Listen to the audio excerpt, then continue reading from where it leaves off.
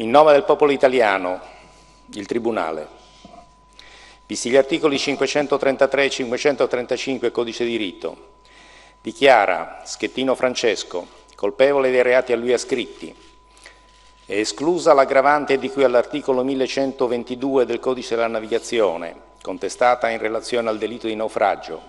e quella della colpa cosciente in relazione al delitto di omicidio colposo plurimo, applicati gli aumenti per l'aggravante di cui all'articolo 61 numero 3 Codice Penale in relazione al delitto di naufragio, di cui all'articolo 589,2 Codice Penale, nonché di cui all'articolo 112,1 numero 3 Codice Penale, in relazione alle contravvenzioni dolose di cui al capo B, unificate le suddette contravvenzioni nel vincolo della continuazione, e ritenuto infine il concorso formale tra i due reati di cui al capo C, lo condanna alla pena complessiva di anni 16 di reclusione e mesi 1 di arresto, oltre al pagamento delle spese processuali, pena così determinata. Anni 5 di reclusione per il delitto di cui all'articolo 449,2 Codice Penale,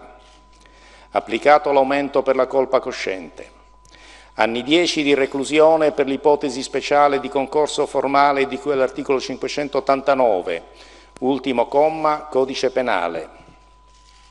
Anni 1 di reclusione per il concorso formale ex articolo 81, primo comma, Codice Penale, tra i reati di cui al capo C, previo riconoscimento della maggiore gravità del delitto di cui l'articolo 591 Codice Penale. Mesi 1 di arresto per i reati di cui al capo B. Visti gli articoli 29, 30, 31 e 32 Codice Penale, dichiara Schettino Francesco,